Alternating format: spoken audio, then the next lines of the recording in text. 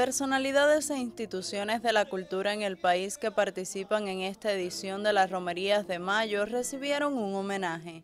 La máxima distinción otorgada por la Asamblea Provincial del Poder Popular Hacha de Holguín fue conferida a Ediciones La Luz, sello editorial de la Asociación Hermanos Saiz en la provincia.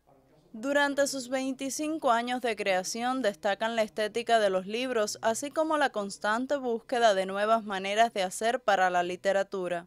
Asimismo, fueron galardonados con el escudo de Holguín, símbolo de la provincia, el maestro Joaquín Betancourt, Premio Nacional de Música, junto al destacado fotógrafo Gabriel Dávalos.